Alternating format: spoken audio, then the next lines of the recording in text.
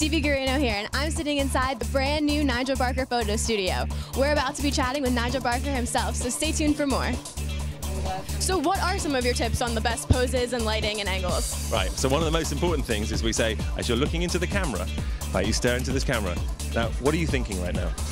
That I'm staring awkwardly into a camera. Okay, now imagine a piece of chocolate inside your mouth and let it melt in your mouth. Now, how does that taste?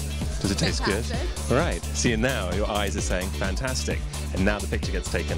And that's just a little bit of the instruction. So there's verbal instruction on how you're feeling, and then there's how you're sitting. I ask you to sit up, crush your foot shoulders, and all different things. So, what are some of the biggest mistakes that you think people make when they are taking photos of themselves?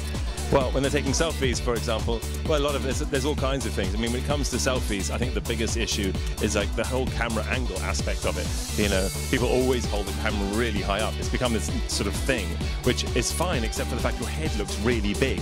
Huge head, and so unless we all want to have huge heads, which I certainly don't, um, you know, there's a reason why fashion photographers hold the cameras at a certain angle, uh, which is at about shoulder length, so you look in, in perspective. So that, I mean, in proportion. So that's the way, I, you know, one of the main things I always say to people, hold it down and then think about something when you're having that picture taken. Don't just take the picture. So, you're a photographer, producer, director, everything in between. How do you balance it all and still keep family a priority?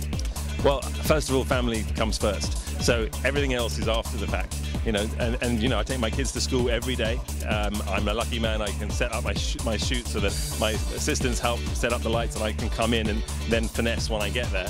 Um, you know, but you got to prioritize. Yeah, hey, listen, if the president can run a country, I can do a photo shoot and run a, you know, run my family very, very easily. You know, it's no big deal.